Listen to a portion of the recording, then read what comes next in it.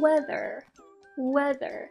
To teach your baby the ASL sign for weather, you are going to use both of your hands with all of your fingers spread out and you are going to move your hands in a zigzag motion from top to bottom. Weather, weather. You may look at this sign and think, isn't that the sign for snow or rain? I am going to link both of those sign videos in the description box so that you can see the difference.